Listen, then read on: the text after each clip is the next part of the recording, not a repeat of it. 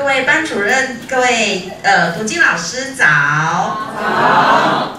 很高兴，非常欢迎大家呢，今天一起来参与这个年度盛会哈。那呃各位啊，这么热情的来参与呢，所以啊，我们中心呢特别安排规划了一位远从高雄到场来的一位徐讲师哦。那徐讲师呢，他致力于推广读经教育呢，已经长达二十余年这么久的时间了哈。然后呢，他。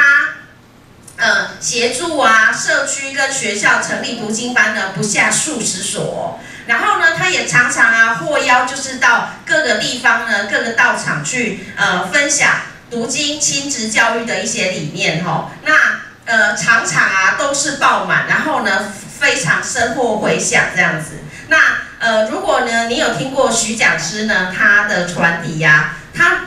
讲述的那个，他们举办高雄道场呢，举办大小状元经典会考的那个格局呢，你会被他们震撼到哦，哇，真的是风风火火这样子哈，非常的厉害这样。那呃，也因为呢，他们是用生命在办读经哈，所以呀，那个。在高雄道场呢，整整个读经风气呢推广的非常的棒哈。那后学呢就不占用徐讲师的时间哈。好，我们一起用掌声来欢迎徐讲师。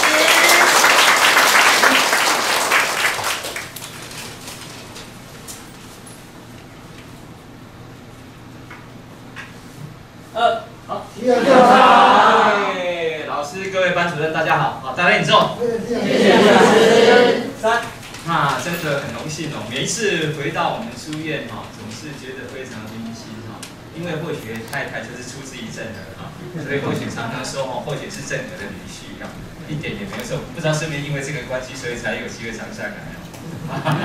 啊，那实质之上，或许哎，真的在会推动读经哦，应该有些浅浅很早期曾经听过的讲过，真的就是为了也开始学习当爸爸之后。为了让自己家的孩子读经，然后就办了一个读经班，社区花了将近两百多张的传单，结果开课那时候才来了一个，这个二十多年前真的发生或者很刻骨铭心的事。我们一腔热血，可是社会回应总是这么的冷漠，总是要让我们幼小心灵开始接受考验。所以各位，如果你是老师和班主任，你现在随便办都一定比我成功，因为你一定会有一个。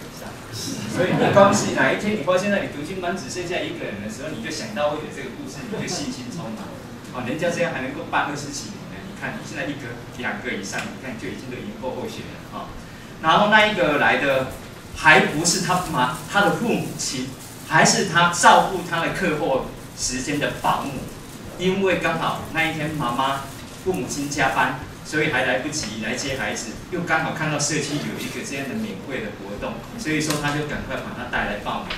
所以他当时候见到后学第一句话就特别问说：“哎，这边是不是有免费的读经班？免费两个字都来加重音，还要加重音哦。那后学当时也就跟他讲：“对，这里确实是免费的啊，您安心。”然后他就开始说了。哎，他是他这个孩子的保姆哈啊，因为父母亲的客哎的时间照他客户的时间照顾的是责任时间已经到了，但是父母亲有时候都会加班啊，刚好现在我们他就住在我们那社区附近，所以就把这个孩子送过来。那在国小，所以孩子也并并不是说很小啊，国小的三年级左右的一个小女生。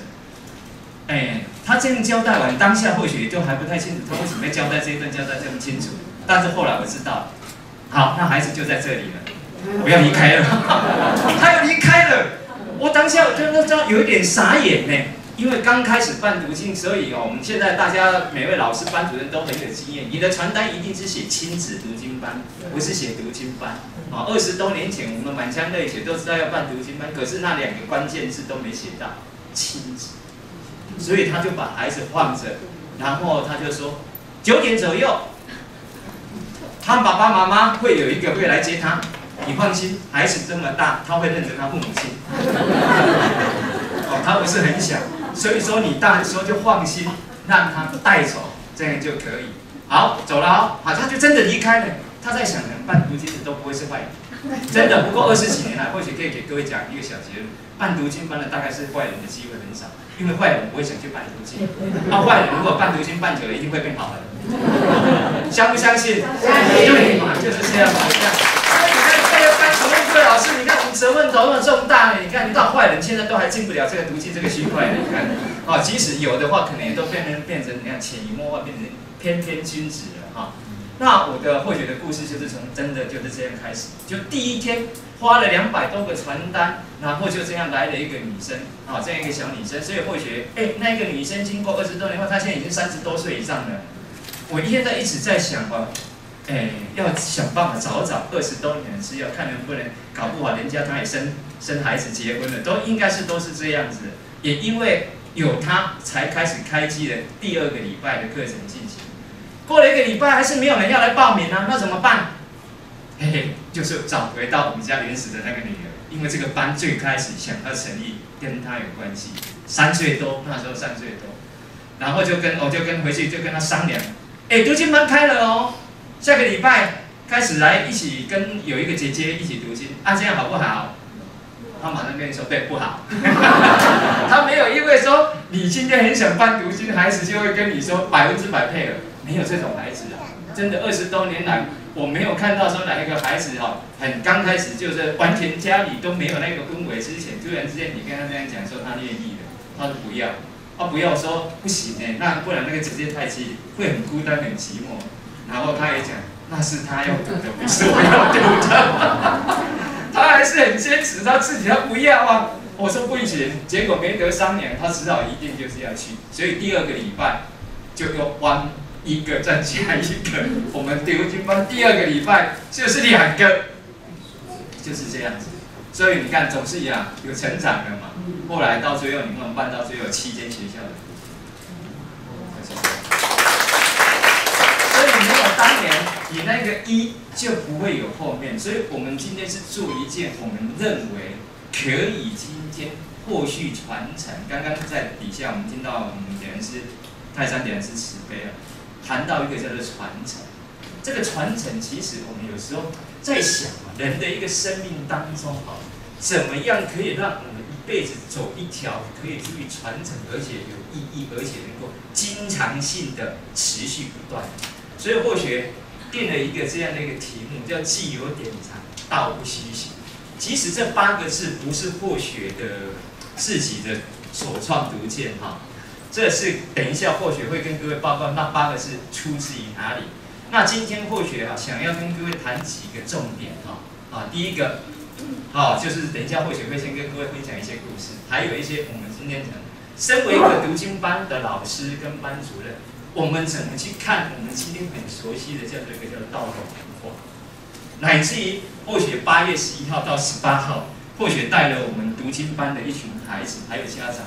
做了一趟叫山东朝圣之旅。今天或许不会讲多读经的一些理论跟观念，因为那些各位下午有很多的课也很精彩，而且我相信各位老师经验可能都比或许还丰富。好，所以说这个部分或许就不会琢磨太多，但是或许想要谈一个我们的一个应该身为老师们应该在主语可以看得到的一个愿景跟志向，所以或许会从这里面来跟大家谈，然后。还会谈到我们今天讲九二八，最近教师节又到了啊！孔子的生命气象，还有天地之间的情况。第四个很重要的四个字叫真如应运。我们相信今天大家在道场学习都有没有听过一个叫做儒家应运这四个字？待会或许会在这里面跟各位最后我们还有一些诶小结论然后抛砖引玉来跟各位浅浅大的分享。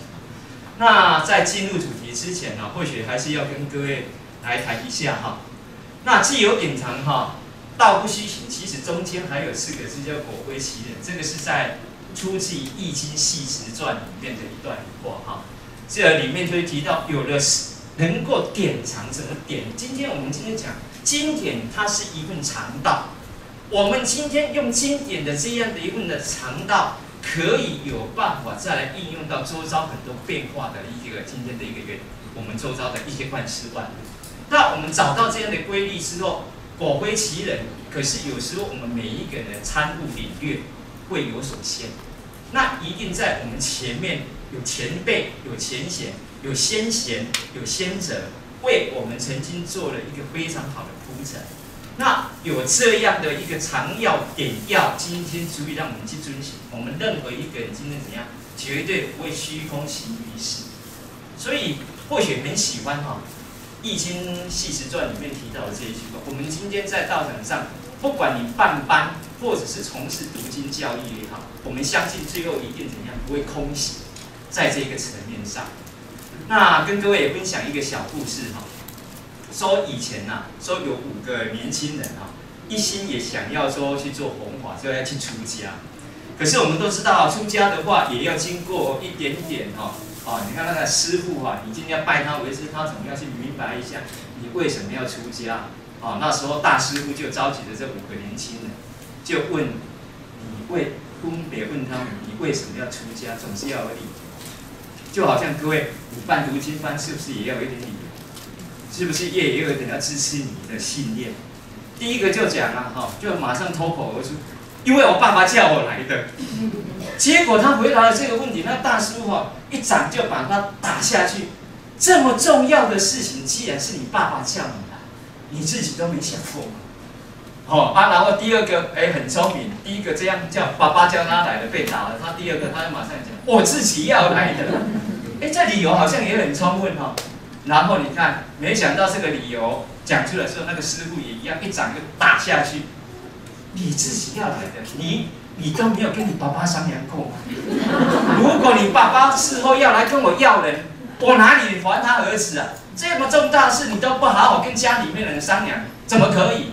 第三个突然之间一时之间不知道要怎么回答，保持沉默，保持沉默，结果一样一掌又被打了下去。这么重要的事情，连想都没有想过，半点理由都没有吧？也又被打了。第四个，到当下你看，讲也被打，不讲也会被打。马上后来他就要赶搬出一个理由，他说怎么样？佛祖感召我来要出家。哇，这个理由好不好？好。任何一个人想说，你看呐，把今天修行的大老板。佛都请出来，我相信他，他到那时候就想这个理由，我相信啊，你打不下去了吧？哦，佛祖感召我来的，结果没有，那个师傅双掌就打了下去。佛祖感召你，我修行这么久，佛祖都没有感召过我，你今天都还没有接触到皮毛，你今天佛祖就来感召你，胡说八道！我前面的。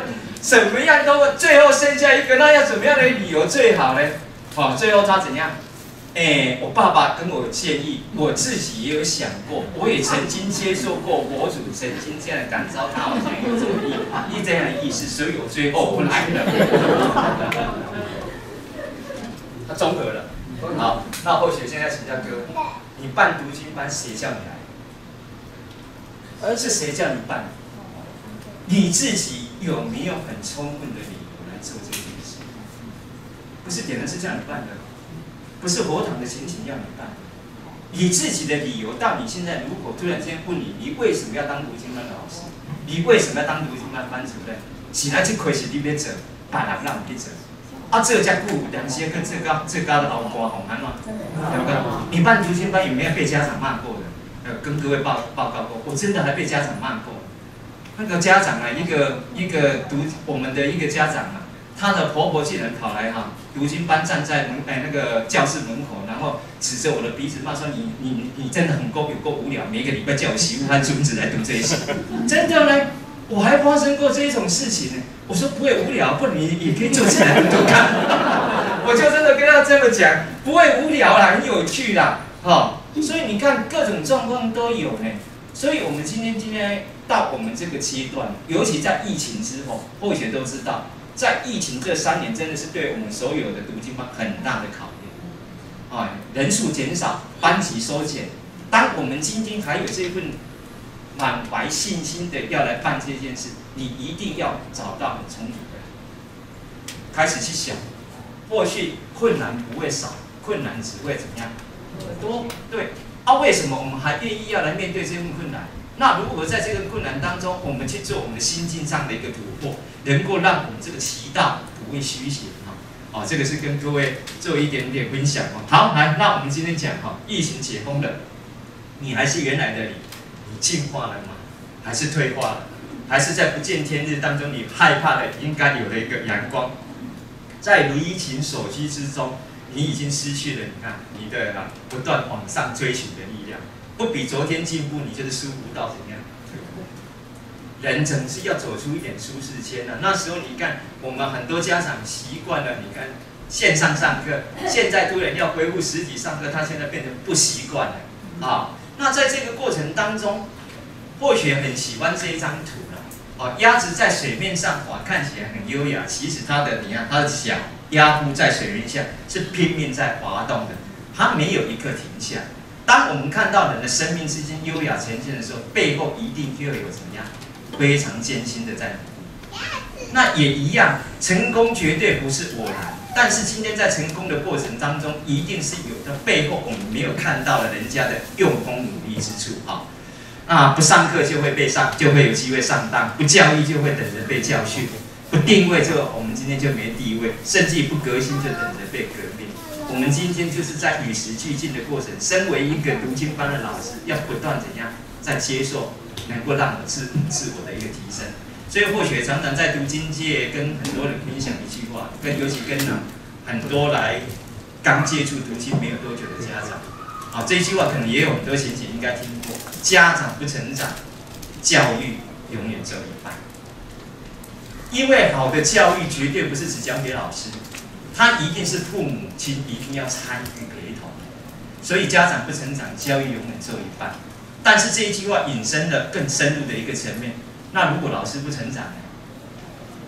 教育会完蛋。真的，身为老师，如果我们没有办法引导家长做正确的观念，那请问？他要什么时候能够建立起一个好的教育方法？所以，我们读经班的老师跟班主任就是扮演一个，不是纯粹只是教教、读读这些经文而已。我们应该也也要能够适时的给这些家长正确做最好的教育理念。哦，好，那我们呢，获取的内容很丰富，待会你会听得非常有趣的哈。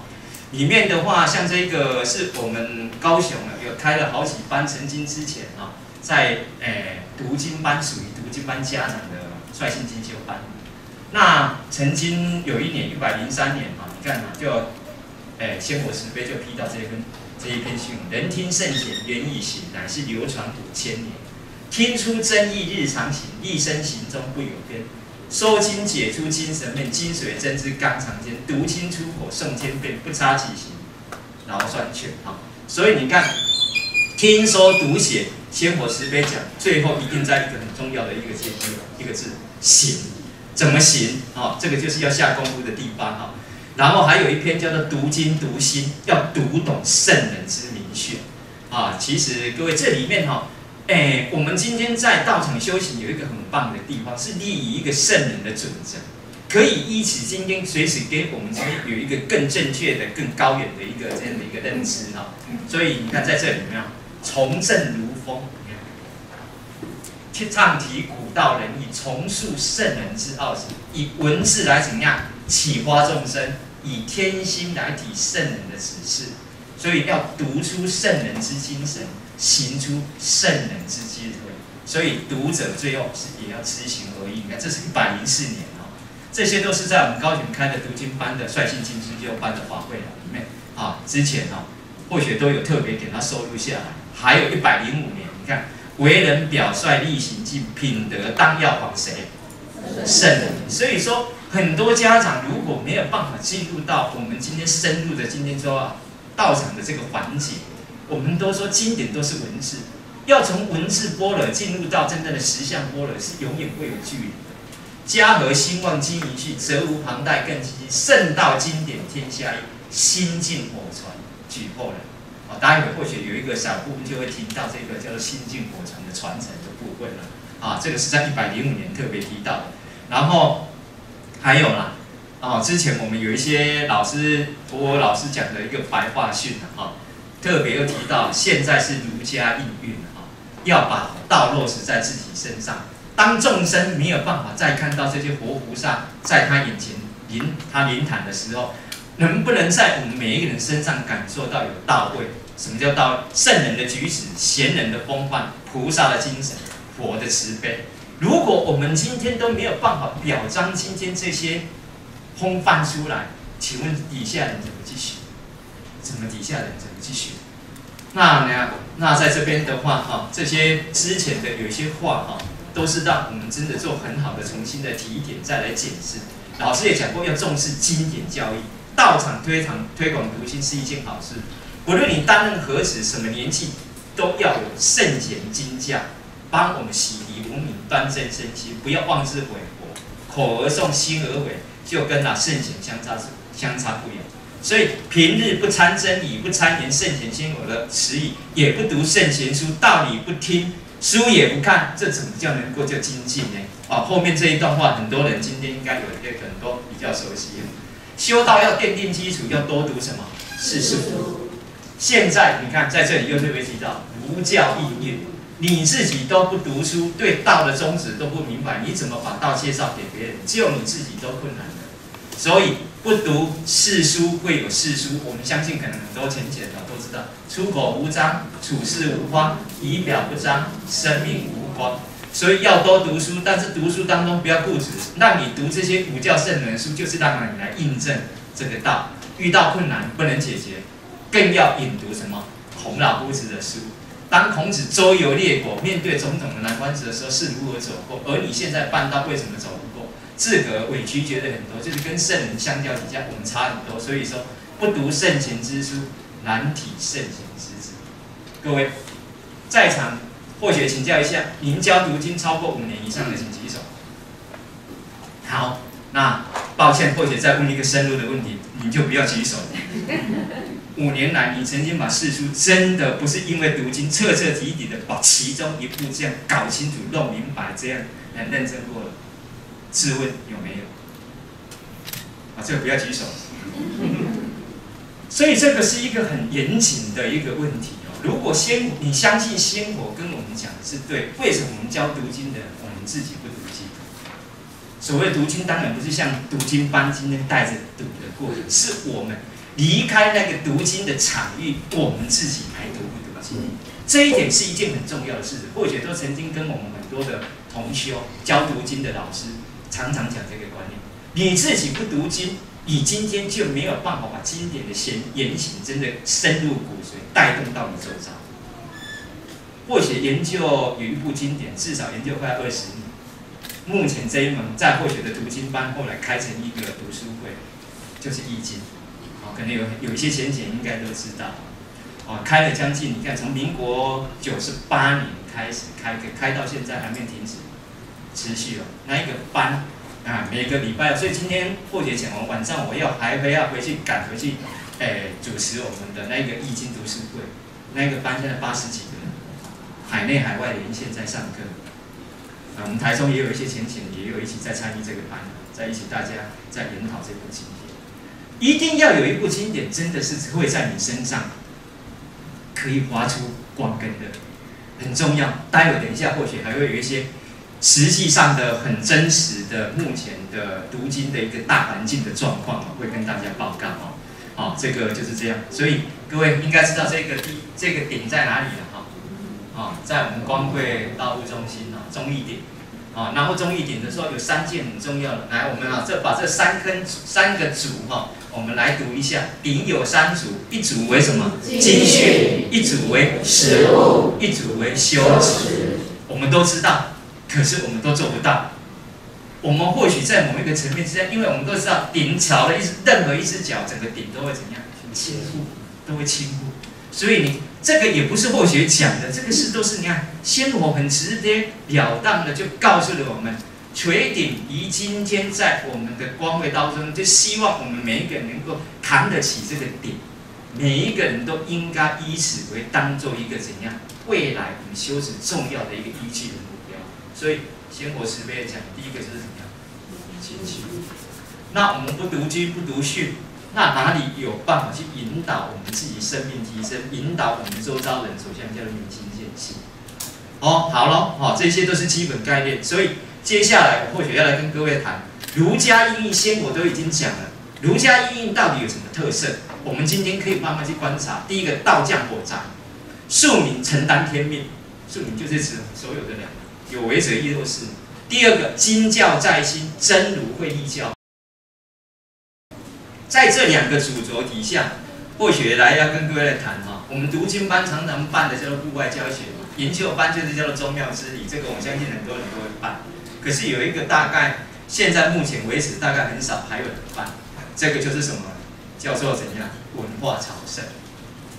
这两个或许不对序了哈，这个有大家一定有很棒的方法，甚至或许可能还要跟各位学习啊。可是文化朝圣这件事情或许做了三年，从疫情前到今年又恢复。那或许在八月十一号到八月十八号启动今年的叫做道统文化山东朝圣。为什么或许讲叫做溯源？溯源就是源头。我们今天教读经的人，可能一辈子没有机会去过山东孔庙，或者去雅圣的庙，或者中圣的庙，或者今天今天我们讲的，还有很多跟我们经典息息相关的这些建筑文物。那或许今年啊，这个就是我们在桃园机场的时候第一张这一团的的相照，所以你可以看得到哈，这里面有大有诶老中青少几乎都蓝光。可是有大部分的很多都是我们读经长大的孩子，这个叫陆焕七，可能有人应该会认识他，他比我还红呢。对，你打你打开在啊 YouTube 上面都可以看得到他了哦，真的，他哥哥也是网络红人哎，他他们他哥哥是在做资讯的，都在那个网络介绍资讯应用的一些什么影片节里很多啦。哦，他哥哥叫做哎，反正你去搜寻就找得到。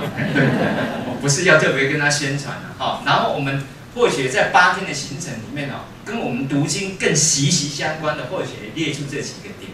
待会您就跟着或许来走一趟这样的过程，到底跟我们推动读经有没有什么样的连接？或许就娓娓道来啊，娓娓跟各位各位前景做一个报告哈。那其实那一天我们从高雄出发哈，到桃园坐飞机是坐到青岛。因为我们现在有很多的航班哈，没办法，因为我们目的地是在这里的纪灵。纪灵这个地方，各位应该听到，又不会很陌生才对。我等一下会跟各位讲，为什么我们会锁定在纪灵这个地方为中心点，然后怎样展开我们一连串的设计的要去的这些朝圣地。青岛在这边，我们桃园会到这里两个半小时就到了。所以大陆其实说实在跟我们不会很远，不会很远，但是从青岛这边。开始坐车到纪里要坐六个半个小时，因为纪里有机场，可是现在哈台湾没有什么班次可以直飞，所以我们只好用一个啊方法到那一边，然后那一餐的飞机餐哦，哎就是真的就是水果沙拉哦。刚开始他们有很多小朋友哦，这一次哈有些年轻人这一次第一次出国去，他以为那个餐吃完这个就是开胃菜呢，还问说。哎，老师，啊，怎么没了？你午餐就是这样子而已，不然你还以为是怎样？真的，因为他我们全团哦，跟我们一起出去一定都是吃素，好，都一定吃素。或许不管他们以前在家里面的状况，因为不见得每一个人都还已经都养成全全家吃素的习惯。哎不啊，没了哦，对，真的就是没了，对。好，然后到青岛，我们都有事先安排好，有那个大巴士，然后整个八天的过程，你们都有有我们专程的巴士，就从啊。从这里开始要开到这边，他一上车之后，那个随车的导游就跟跟我们讲哦，好，从现在开始有六个半小时，我们才可以从青岛到西里。啊，这为了哈让大家今天入住饭店可以早一点休息，我们沿途上不会休息太多的站。那怎么解决？我们今天的晚餐呢？来，这里有饼干，一个人，啊，这里有橘子，好，来，那一天晚餐就是这样解决。我们那一天进到那个纪灵。饭店，我们所有人躺在今天床上是晚上十一点半以后，哦，一大早从高雄这样出发，然后到最后你看，阿内贴到这里，我在车上就跟我们同行同团的人讲，大家不要买月桃，不要学习，孔子上节都成才绝粮七天，你才不过也怎样，你还有得吃，哦，君子磨道，嗯，对，像如今的人就是这么好，一讲就通。本来有埋怨的都吞下去了，都没有了。真的，我们那一天就这样子解决了两餐哦，两餐哦，不错哈。体会一下，你要去走孔子走过的路，就还有东西可以吃，这样就已经开始带你进情境了呢。其实我也没有这么安排啊，真的，我也不知道真的要做六个半小时。他只是一切就是怎样随意而安了嘛。哈，好，到了济宁这个地方，为什么后学说会特别要找这个点？因为山东自古以来，古人称啊齐鲁之地，我们历代的祖师，还有以前的祖师，哦，当然以前的祖师就是历代祖师啊。这里面好多人都是出生在哪里？山东，孔子是山东人啊，孟子也是山东人，十五代祖、十六代祖、十七代祖、十八代祖，通通都是山东人啊。所以你可以发现到这里面就是一些哈妓女在这边呢，我们那个地方啊，他们当地叫做任城区啊。在这个地方的话，就有很多跟圣人息息相关，包括我们的七湖口庙等等、雅圣庙等等，就是都是以它一个幅员范围当中哈。好，那我们今天就要展开哈这个过程。那您现在看到的是一个叫做你看，啊叫做观音阁啊，这三个字哈，还是用繁体字哈体的。这个地方很多浅浅大概，哎，如果不特别讲，即使当地的人可能也不会。很特别去注意到这个名胜，这个地方是一八八三年入主十七代主，今天领天命之后办到的第一个佛堂，就是我们今天常常讲那时候入主不是后来领受天命之后，他今天不是回到山东找他的妹妹老姑奶奶吗？就是这个地方。当然应该严格来讲啊，是观音阁这个地方，这个地方已经是有拆迁过。等一下或许会跟各位报告，但是就是维系了当时的建筑风貌。所以你看，十哎，我们讲十六代主刘祖清溪，当那时候我们入主领完天命之后，他不是问他我要到哪里去安身吗？然后十六代主刘清刘祖就跟他讲，驾法船东鲁利基观音阁内法身处。后来他想到。原来他有一个妹妹，就是当时在观音阁出家，啊，当时就是那老姑奶奶，哈，就是在这里，所以或许这一次特别就是安排，刚好就是我们居住的那个行政区那里，就到那边去了，哈。那这个现现在的观音阁的风貌，你可以看得到，你看都有这个碧玺陀石碑，那你就晓得它是有典故。碧玺陀石碑，那你就晓得哦，看到这种文物就代表是能够用这样的文物呈现，那都是皇帝。曾经颁示过的碑文，哦，我们要有一点基本常识，不是你家你家很富有，你就可以搞一个弄当碧玺来给你投石碑呢。在古代，这是一种是一个很大的禁忌，这不是一般人可以的。啊，这个是皇帝曾经颁，为什么会有这样？等一下你听就知道。现在整个的那个观音阁的，你看观音阁现在呢，现在是一个楼梯这样上去的，它的隔院是啊，今天是在那里，哦，啊，整个的从上面照下来的广场。大概你看得到的就是目前的规模啊，就是这样子哈。那旁边还有一个很大的一个水池哈，水池啊哈，那个风景很漂亮啊。那或者大概稍微叙述一下，这个观音阁哈，始建于明洪武一三八六年，历经明朝万历还有清朝嘉靖两次的修缮。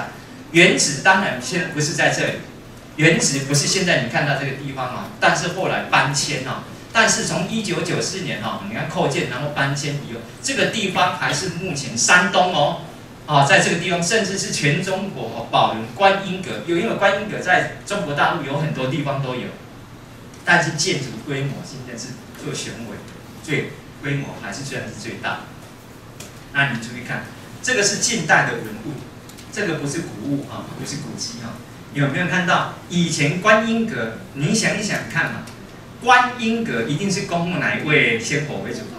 观世音菩萨、南海古哈。可是你有没有发现到，现在今天这样的话，近代建筑这里写着什么观音阁怎么样？道观，因为现在变成道士修行的地方，啊，但是道士还是保存了原有的那个啊仙仙佛啦，哈，都是一样没有改变。因为哎，观世音菩萨在道家呃道教的修行里面，他是提到他是那一个慈航尊者啊。所以说，他们也有很多可以儒道，哎，不是儒道，就是佛跟道可以相通的地方。所以我们还是可以看得到，他还是尽可能把它保留的很完善。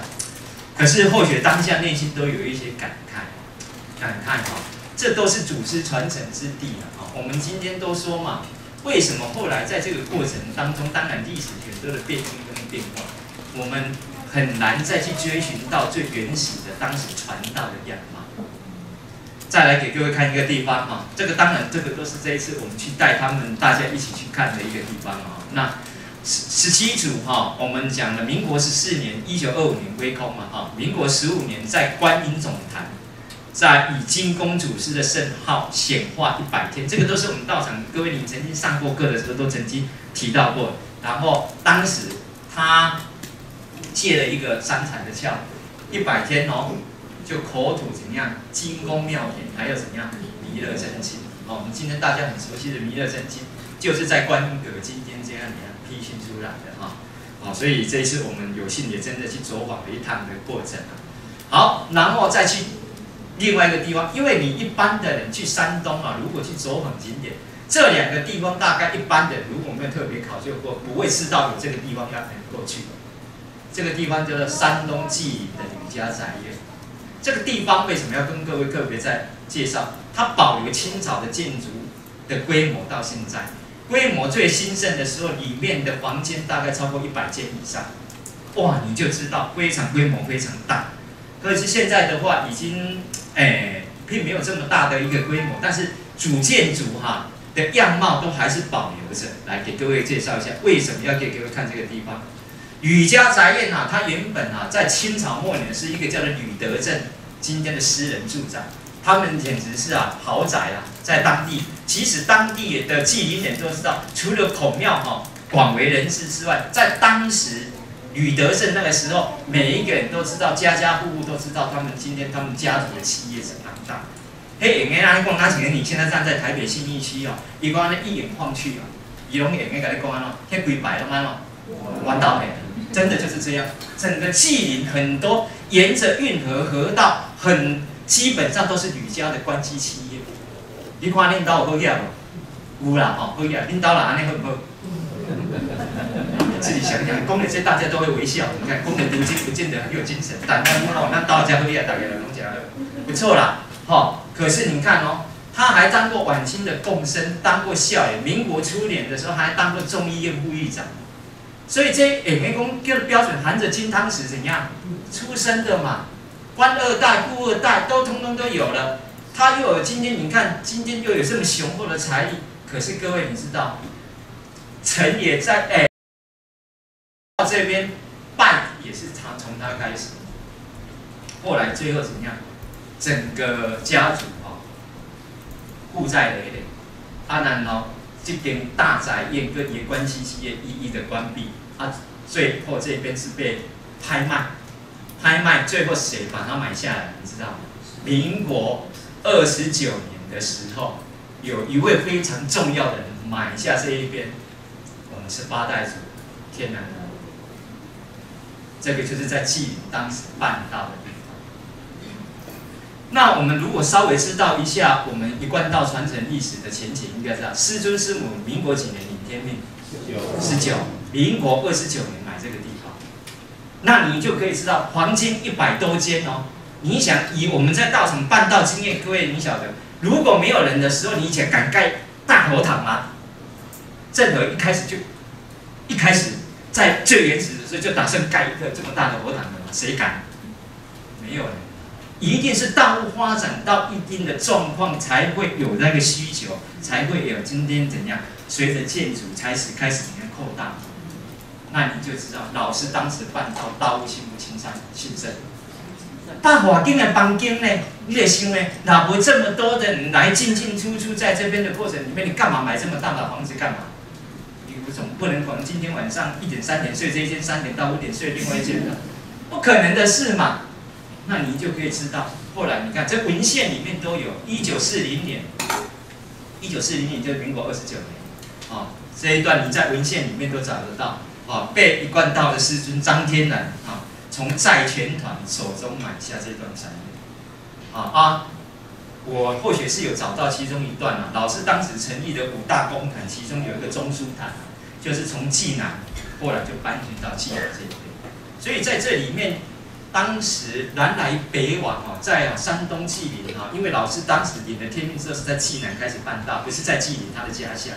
可是因也因为在这个过程当中，整个道路的发展，这个地方是一个非常关键的所在地。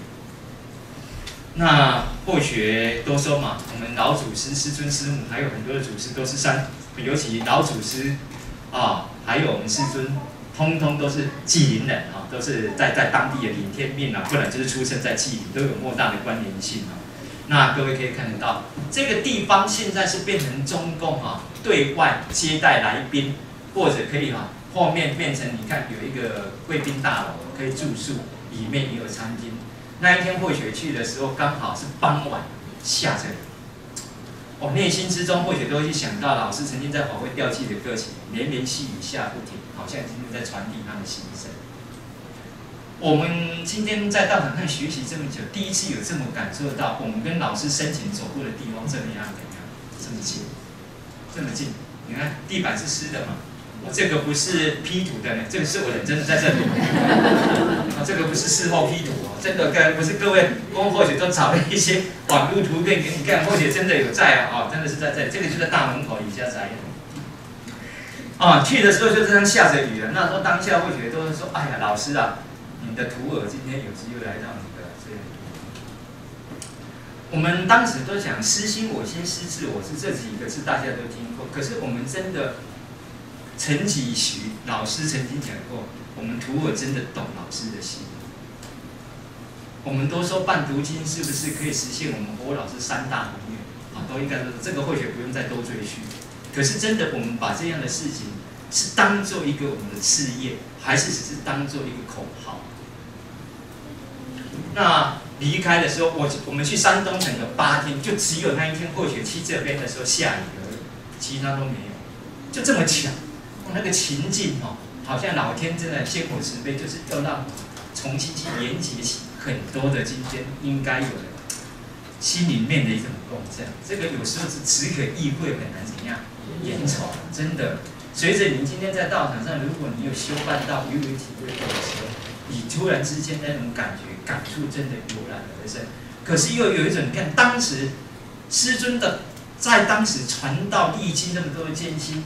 而且你看，或许如果你有机会真的在看很多的，啊现在目前很多的早期办道的文献，其中老师的师哎的孙女都曾经讲过，老师有时候当时去办道的时候，你看我们今天不是我们那个光辉路经里，我们有画了几张图，其中有个老师坐着独轮车的，各位应该有印象，我们镇的这边好像也有啊，那个坐着独轮车的那一个，其实那个是老师的孙女曾经都讲。那个画画，那陆老点是画的都还是比较比较美化。即使，在那种过程，不是一群人真的就跟着老师今天这样，有人推着独轮车，推他独轮车是一个叫胡贵金胡道长，他同时跟老师是十七代祖的，都是啊哎的徒弟。但是老师领天命之后，胡道长也都跟随着我们师尊办道。包含老前人后来在天津开荒的时候，胡道长也跟我们老前人曾经生活了一段。因公引早在师尊的的孙女就是讲，老师就是导前，他办道的，就是坐着这个独轮车，然后胡道长推他，不然今天就是怎样，老师推胡道长，他两个人这样。他曾经有一次说要去办道，啊，老师有时候那时候当下你看也没有很多人，真的刚开始今天很多人跟随了，没有。啊，因为到一个地方天寒地冻，北方多啊，你看冬天就下雪。啊，一一干下午办道时间下午。啊，然后办完之后，老师也不太会去麻烦说佛堂的坛主前贤，然后就赶路要准备要回去。啊，天寒地冻，啊，吃的干粮哦，早上办要出门的时候就自己带一点干粮，又办到的时候又忘记放在那个坛主家。啊，天寒要地冻，从晕倒在雪地当中呢。这些老师的孙女都曾经，他们都曾经见闻过。啊，好在刚好有一个妇人刚好要出门，不知道是什么样。做什么事在雪地里面才看到老师啊啊哎怎么有一个人今天在那边？所以你想想看，如果有机会啊，在台湾啊，跟你们有机会去出去外面走走，你台湾到哪里办到都算近还是远？近。你今天出门会叫你坐独轮车吗？会叫你去推车吗？那叫你跟点燃是开个车，你开个几次都还在埋怨，那等那那打刀弄个锤光没锤到。对呀，我们今天做久了，是不是今天就开始怎么样？不会劳而无怨，劳而开始怎么样？那我们说，我们今天是传承什么样的道？当你越了解到哦，我们有曾经以前先辈是怎么样在走这种历史的时候，老师都曾经讲过，你何忍心让他只是最后变成历史的成绩？各位想一想，我们还能够在我们身上，你们传承什么？我或许一直在问各位这个问题。读经班的老师一定是要有所自己的认知看见，不然这件事情您绝对不要说你能够做多久，三年五载你就准备浪干。不相信我，下一次再来看你还在不在？要不要？下一次如果或许还有机会再来看一看你还在不在？等一下拍张照，有图有真相。如果你还在，就一样椅子排好，你坐在你当年曾经坐过的位置上。拿来点名，看这个这么早一堆，你得要啊，一人把这单子来修起来了。你要有这种很强的信念，真的真的，历史会成为沉积，可是今天所做过的事情会留下。那这个就是山东哈，我们今天讲这些圣人之地了哦。来，或许要很快，因为他们跟或许讲说，我只能讲到十点二十，我实在是很担心，好。因为太多很多值得跟各位谈的。好，大成殿、甲圣殿、富圣殿跟中圣殿，我们讲了孔，哎，孔门传承儒家的四圣，这四个地方或许都去过，都去过。有机会啊，我们再一起去一趟。不太乐意，不不不邀你，不邀你。定的时候好鼓掌叫好，现在听到这我就会想到，今年我应该没有，我就知道这一群能不能约，约的好是烦。没有用的，好，你不要撩干，想跟着去的人多还是少？多啦，啊，你都不表示一下，待会下课也不找，要大家去想是你要认得我，跟你合照一张。哎，对，那那以后可能就会第一个先想到，连讲都不表示，那代表没有意义了，不约了，对不约。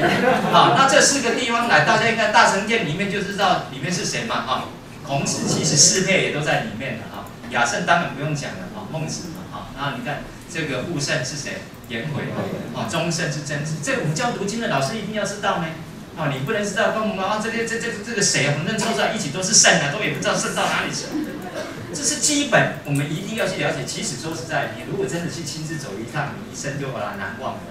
好，那您看一下这几个地方哈，孔庙的建筑哈，将近我们在台湾，不管台中孔庙、台北孔庙，还是任何台湾地区的孔庙。其实我们严格来讲，规模都没有像山东区孔庙那么大啊！你看，包含一阁一坛两壶两堂三十五殿十七座碑亭五十四座的门房，来带大家哈一起走一趟哈孔庙，这个就是万仞宫墙。我们在台湾顶都是一道照壁了，可是今天在你到山东曲阜去的话，才知道什么叫做万仞宫墙，真的就是一道残墙。你第一次一零八年破学那时候四年前，其实看到的时候都觉得好重。那为什么会有万人宫墙？各位都知道，那是子贡赞美怎样孔老夫子的德性。啊，你看啊，辟之宫墙，四之墙也其肩，四就是子贡嘛，东木氏，只有这肩肩膀那个高度啊，城墙只是像高度只能到墙肩膀肩膀而已，能够看到你看自己家里面到底怎样，就被人家一览无遗。可是夫子之墙，数任。不得其门而入，就不见什么宗庙之美、百官之礼。或者常常跟很多的家长说，你读经绝对不要以为说只是让孩子说，还有很多值得你要登堂怎样入室。没有登堂入室，你不知道真的圣人在讲什么，真就是如此了。好，那每一天早上八点，只要是天气好，都有啊，孔庙都有那个城门开城门的仪式，因为这道城门打开，你才能进内。开始去做参观，那他们会哦，仿这着古古代的这样的古礼的哈，有文武百官的哦，等于就是一场户外的非常精彩的表演。早上八点开城门，下午的时候还有一个关城门的仪式。真的有机会，你上 YouTube 都可以找得到这个开城门的影相关的一个影片，很精彩哦哦，歌舞表演啊，但是让我们非常融入在那种情境跟文化当中哈，那。这是整个孔庙的平面图啊，你就光靠从这里，要你要走过很多道门，很多道门房，才最后才走到这大成殿。那你就知道孔子今天的德性。当地导游都跟我们介绍，孔子生前最后只是三间茅草屋，可是今天最后你看他留下什么？他绝对不是只是给我们看建筑，是要给我们看到他到底为何今天呈现的文化精神面到留存了什么。这是整个孔庙的那一个山峰区孔庙的空拍图啊。那第一道进孔庙之前，走路的那道层面就是金身玉正。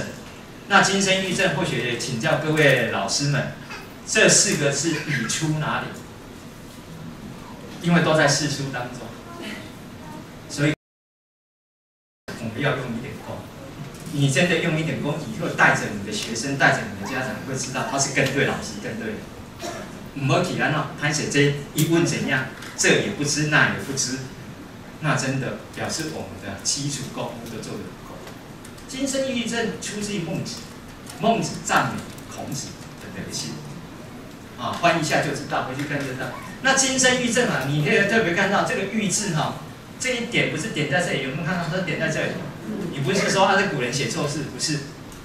啊，因为他这里面呢，古人哦不会写错字，放在门房、门牌、门房的啦。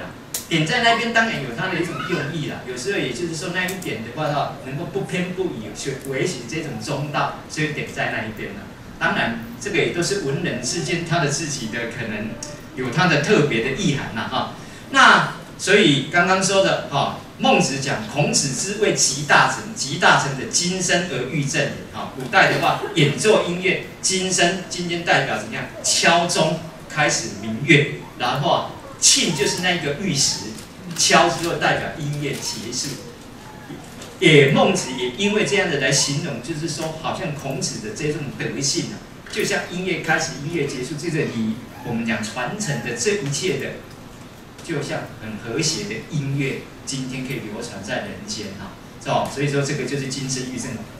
或学要很快，因为或学不只是要跟各位介绍孔庙而已，然后还有灵心门啊，任何的文庙哈，基本上都有灵心门哈。好，那走进灵心门之中啊，特别要跟各位介绍，因为这个地方叫正门，所以要把这个门牌门板秀出来给各位看。太和元气法，保和太和哈。包含这四个这四个字的精神，这是最原始出自于《易经》。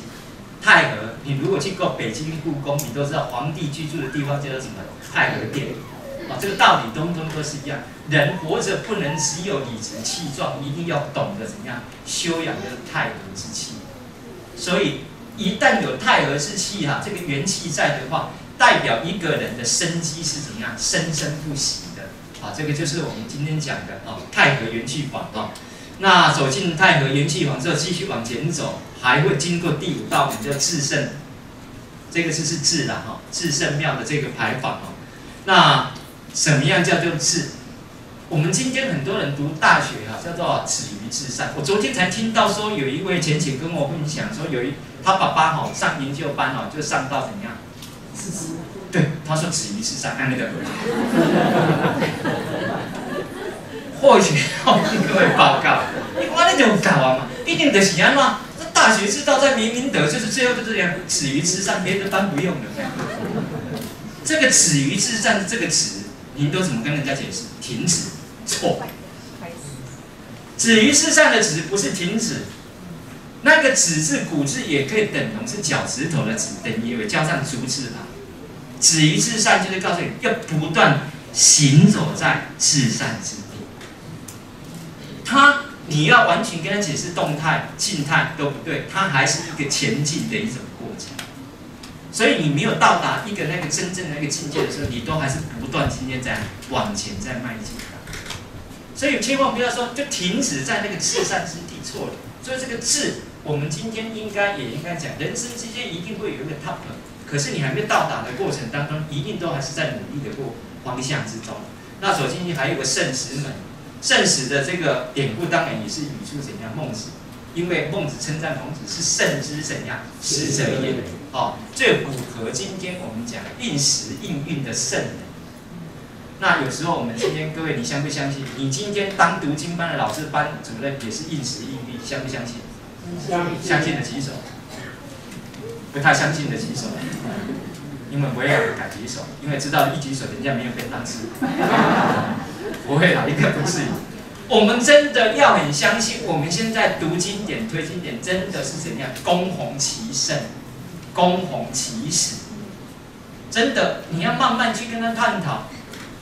当你了解以前圣者，今天他怎么去传承这些经典、传承这些心法的时候，你会发现，我们现在做的所遇到的困难，跟他们相比，相对我们是比较简单，还是比较困难？简单，真的。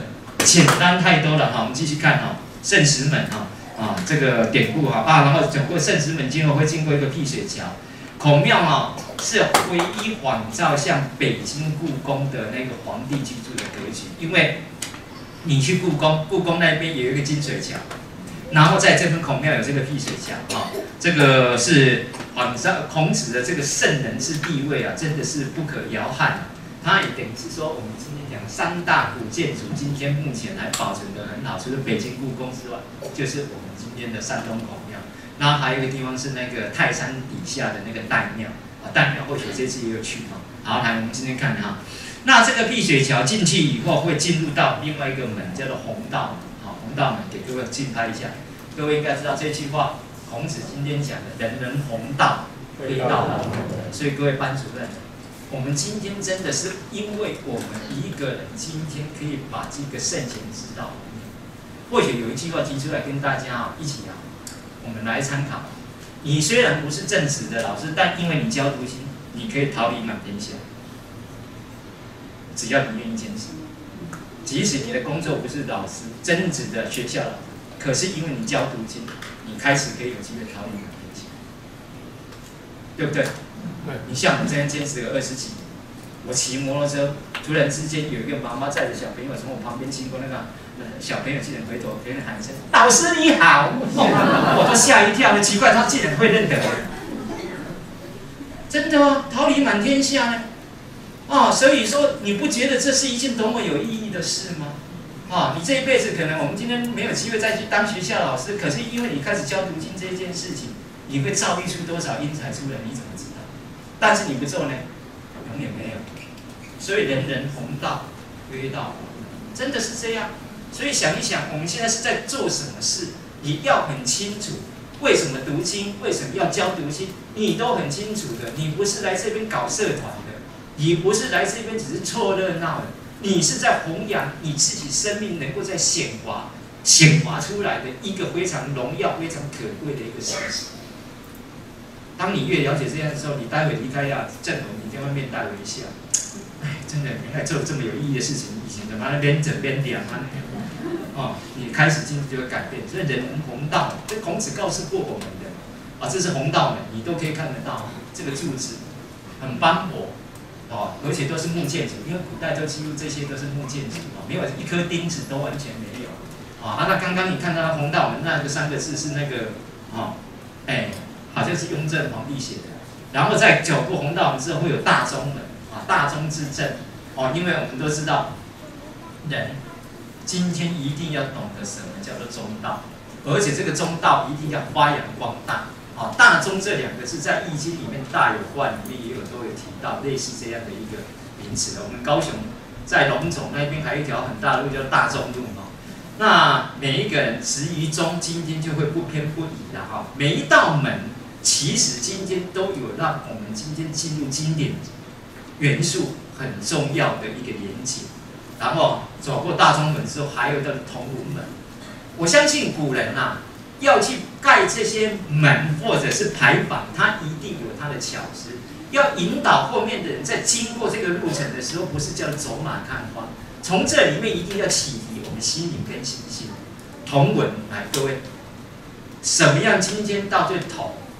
今天我们今天想，我们每一个佛堂今天都会挂着礼印大同篇嘛，哦，那我们今天文就是一个文子，孔子讲的文质彬彬而后君子乎？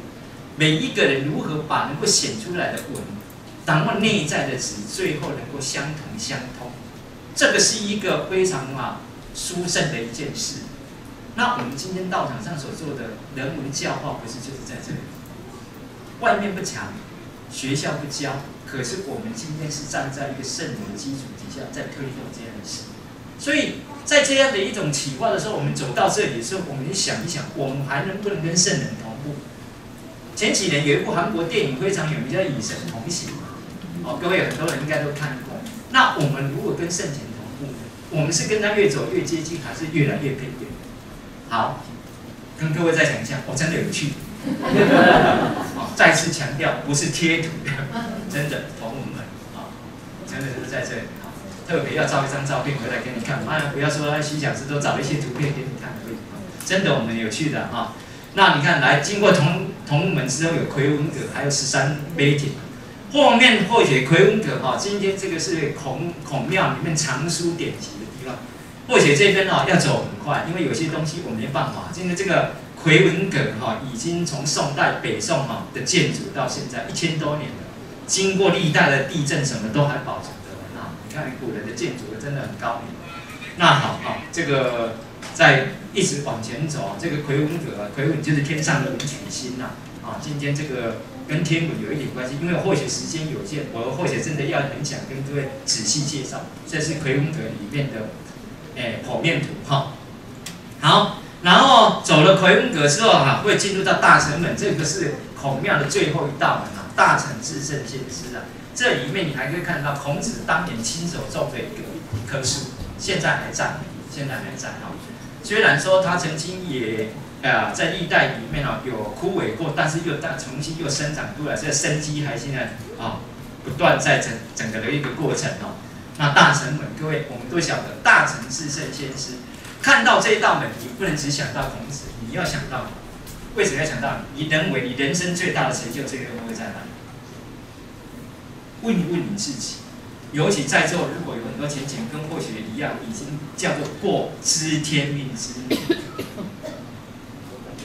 如果还低于这个数目呢，你不要笑太快，因为有一天你也会。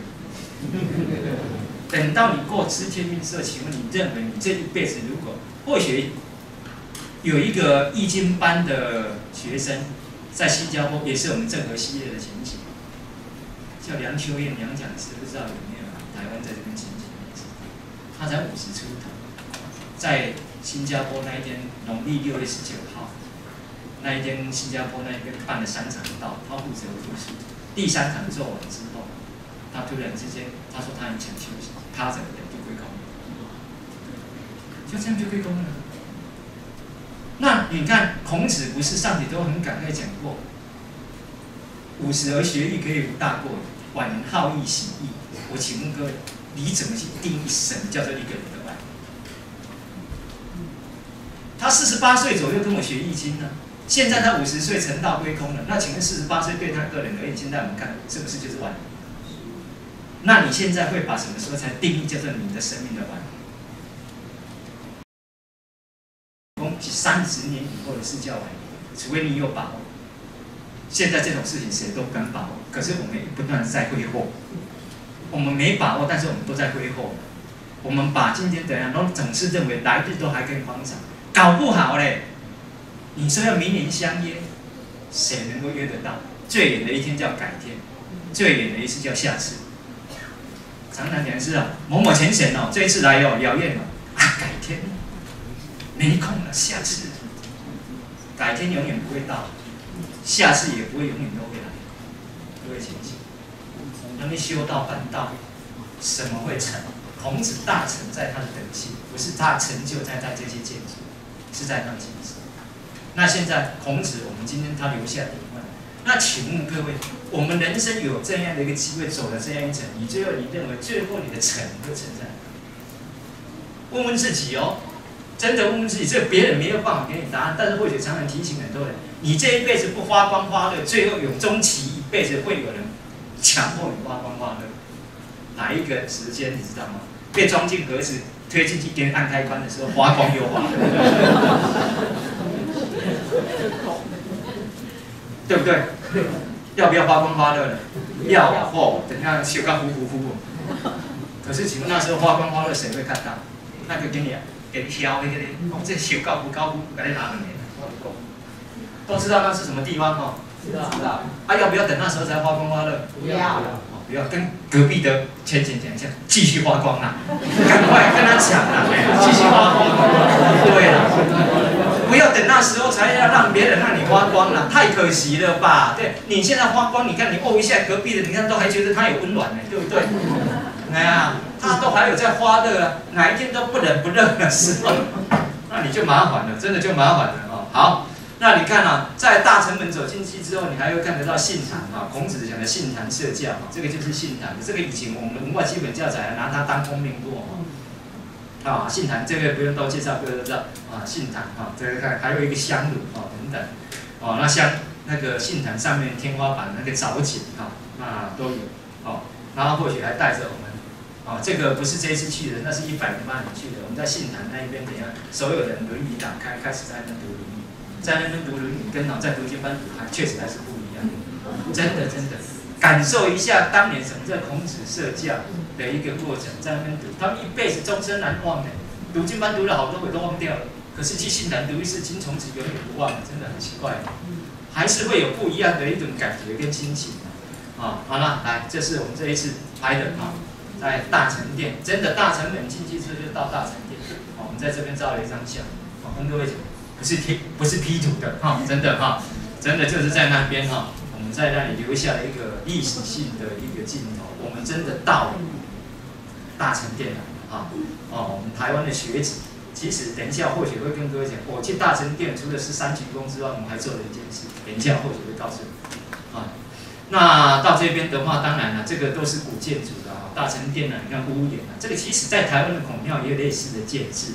可是你当时上你看到那个龙柱，哦，这个是真的，这个龙柱啊，比北京的故宫的龙柱还雕的还怎样，更细腻。你真的有时候去的话，仔细观察才不会错过很多的东西哦。那啊，这些都给大家好，这个就是真的大成殿里面的孔子塑像。台湾的孔庙没有孔子塑像。啊，曲阜原始的孔庙都有孔子的塑像，而且上面的匾额都是历代皇帝颁赠的，啊，历代皇帝颁赠的很多的一个匾额啊，里面挂满了整个厅堂当中哈，啊，这个就跟各位讲，哦啊，然后在这边特别要跟各位讲，在走到后面啊，有一个叫非常有名叫鲁毕，哦，鲁毕，各位应该这个典故应该都知道哈，当年孔子的孙子在当时为了避。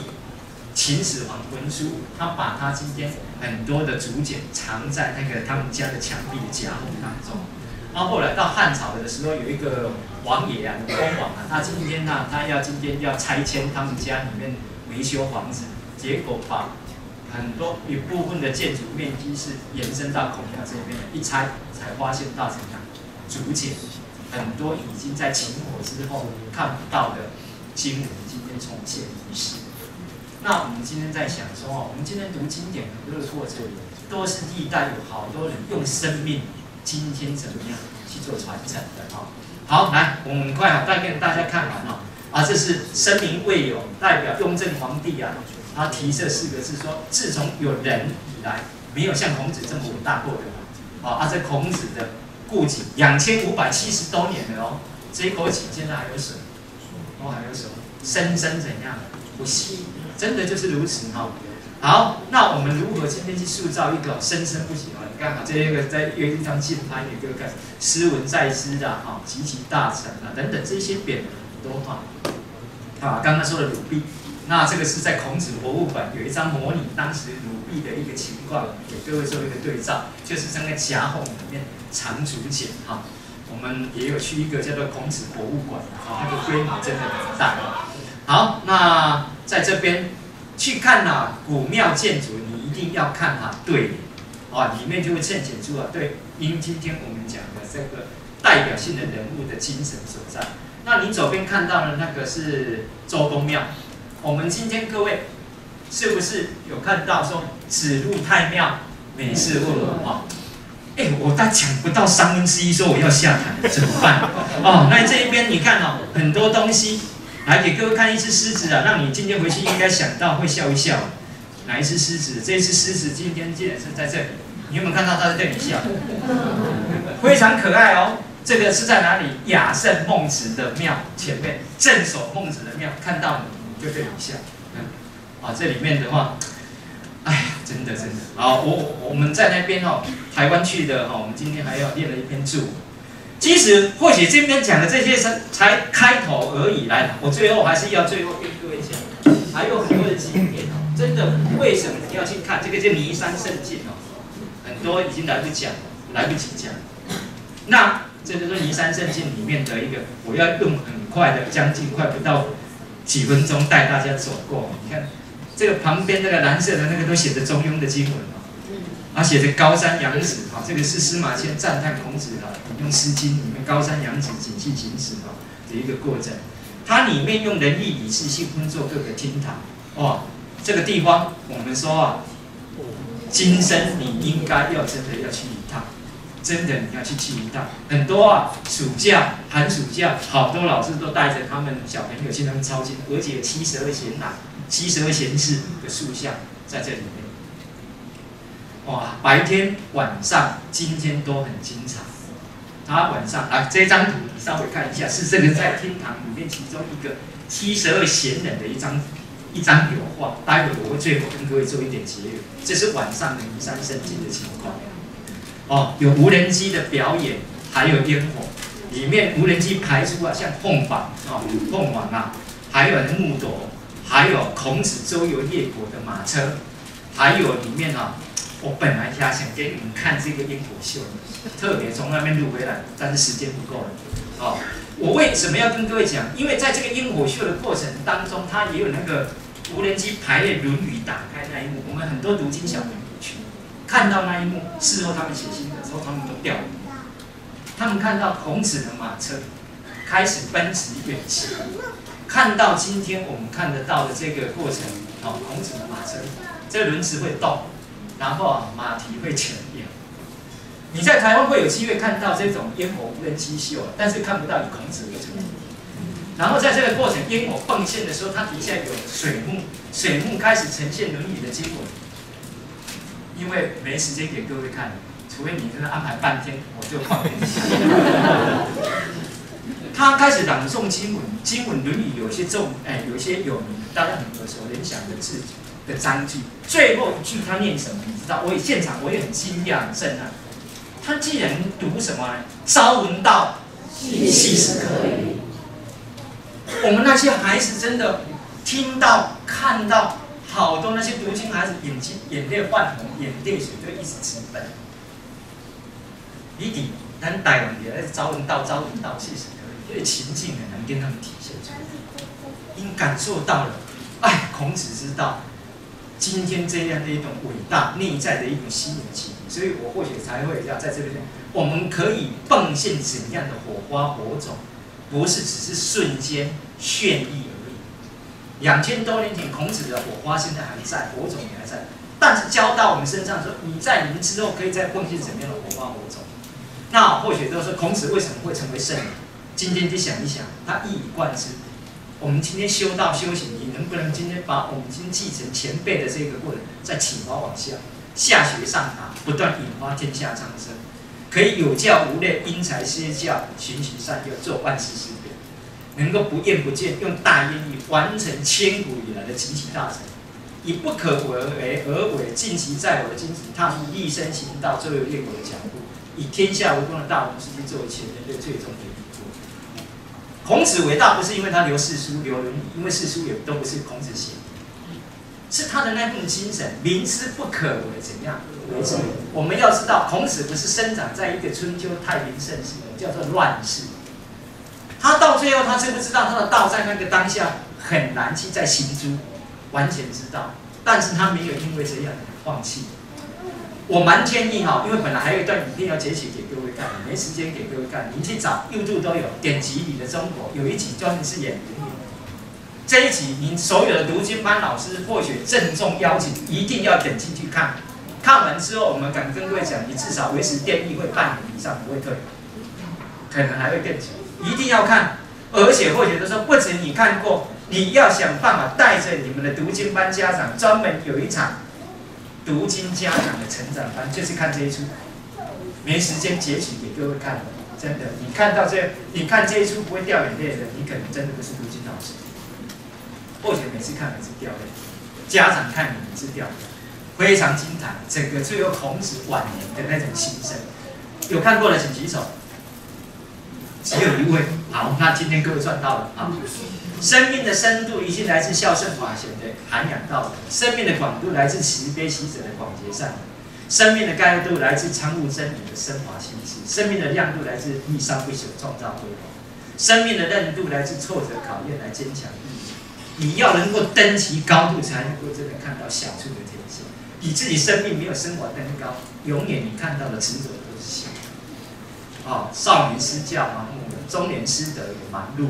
中老年又失道也忙，这是普遍现代人的今天三失啊。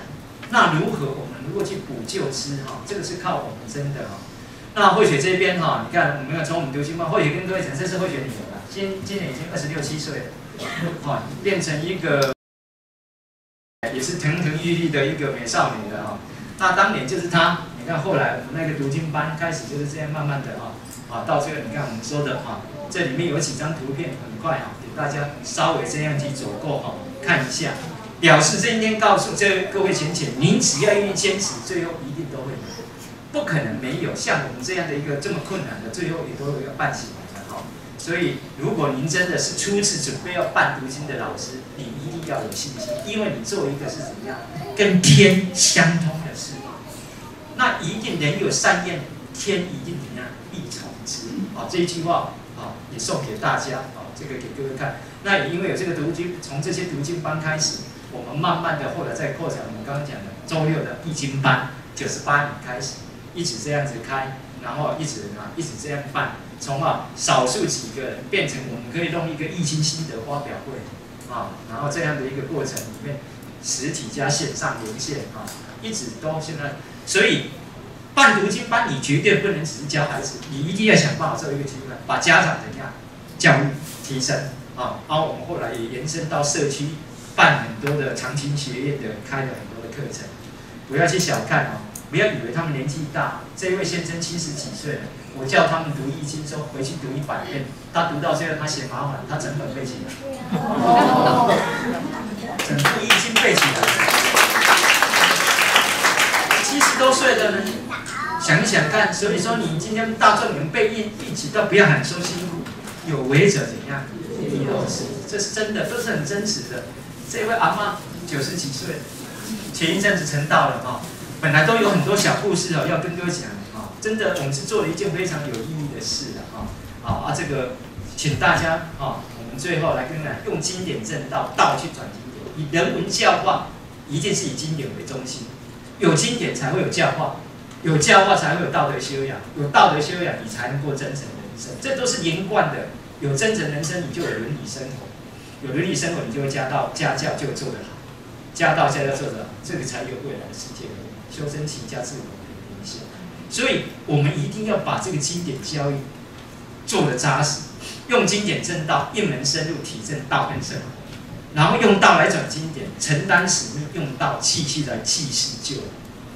啊，所以这是陆焕期啦，我们这次去也跟他们大陆的那边，哎，大学生做交流嘛，啊，而我们也分享了我们今天台湾的一些经典教育给他们看见，经典教育一旦失落。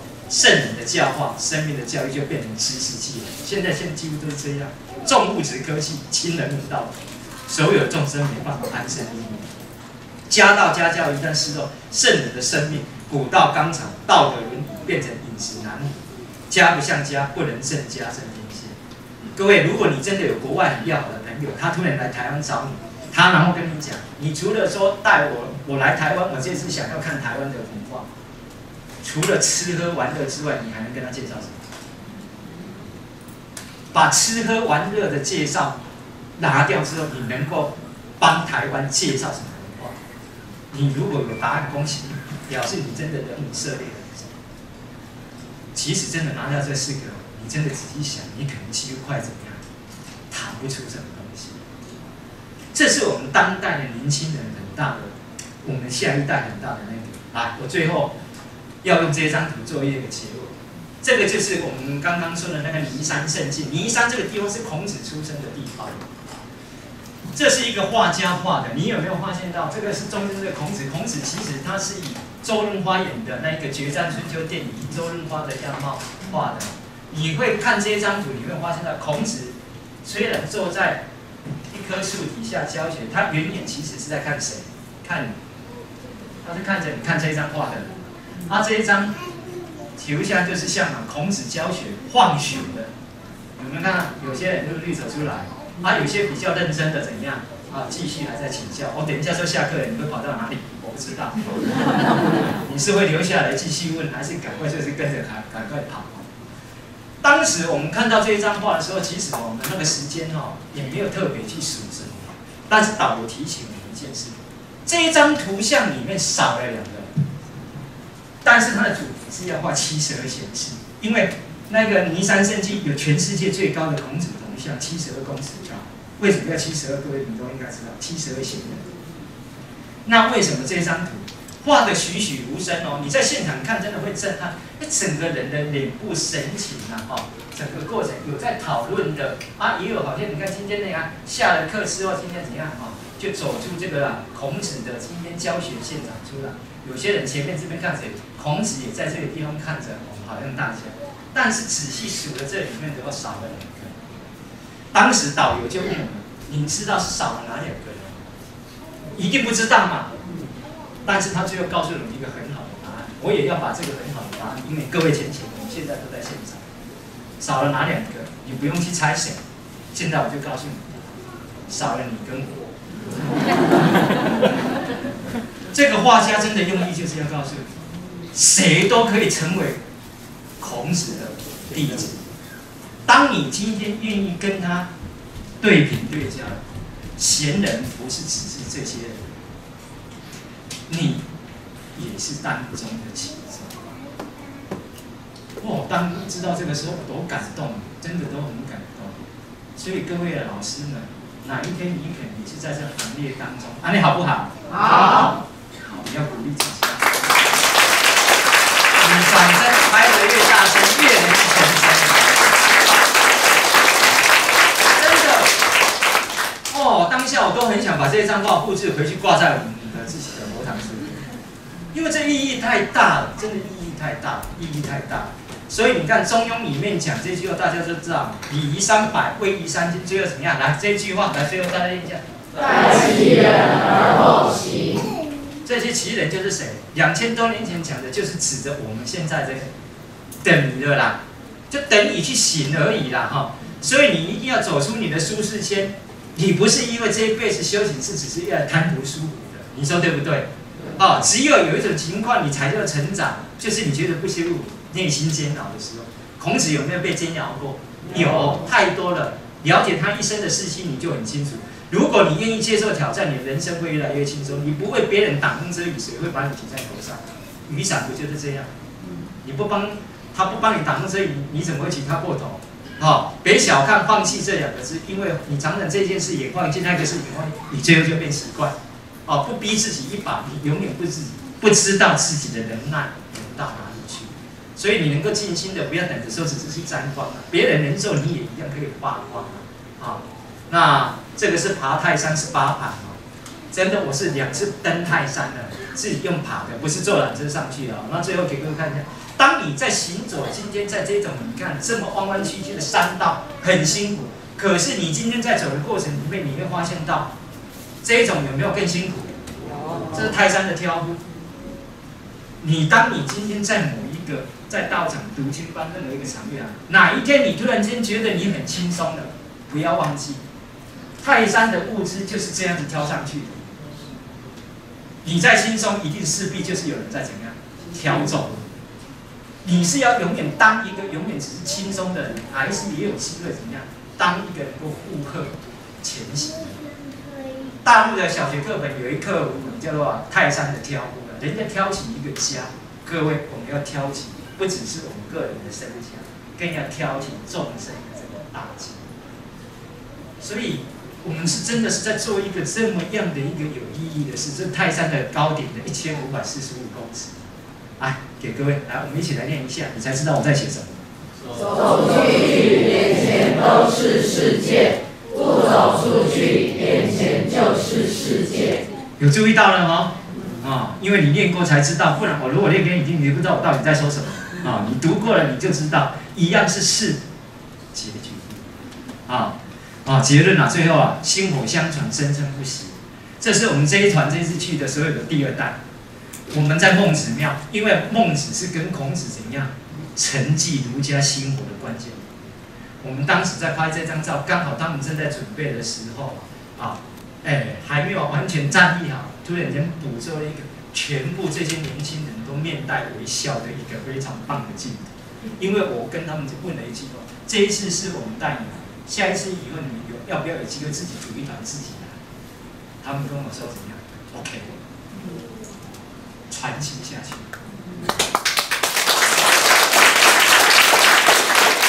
我们就是要做一个，那你底下的愿意怎样传心的事，让他怎样生生不息。那这里面有我们这次回来，我都有请他们写心得哦。原本有很多他们写的很棒，我这个档案会留着，如果需要大家可以跟我去看。啊，这边是这两个是后我们霍雪家的，刚刚那个说他不来读经的女儿，就是在左边那一个了。啊，右边他们都是胎里树长大的。哦，我或许带他们呢，我们这次也去黄河，黄河之水天上来，你看奔流到海不复还哦，李白将进酒。